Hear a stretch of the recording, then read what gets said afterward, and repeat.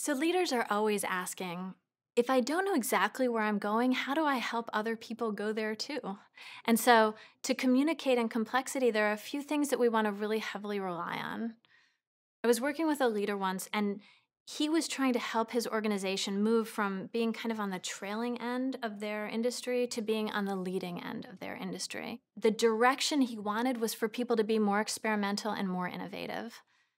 But saying that actually isn't that helpful. Everybody kind of wants that. And so he tried to use these communicating and complexity principles to build a message that would travel through his organization in a way that would actually enable the future, whatever future they were building together, to happen. And so he welcomed them into a direction using a metaphor. And the metaphor that they had used, one of the things that was holding them back was their fear of getting in the paper, on the front page of the paper. Don't get on the front page of the paper was one of the taglines they had. And so instead, he offered a metaphor that was about making news. He welcomed them to make news. And he said, I know that this might increase your anxiety because we've been not wanting to do that.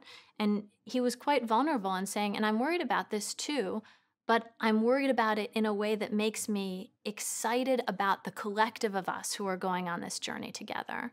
And he used this metaphor of making news to empower the people around him to each be trying in some little way to be exploring the front edge of their industry and to be the heroes in their own story, right? He he wasn't saying I'm going to make news, look at me, I know what I'm doing. He was saying together we are going to be making more news and together we will be inventing the future of our whole industry.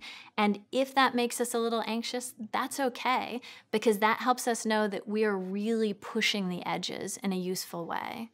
And so with this message, he was able to um, carry the idea of creating new things in complexity in a way that people could really take with them and each person interpret in his or her own way.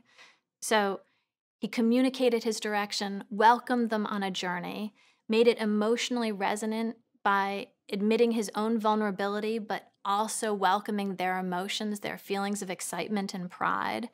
He used the strong metaphor of making news to carry these ideas together, and he welcomed them as heroes of the story, calling them to action, calling them to adventure, so that each of them could be creating the future that they collectively wanted to inhabit.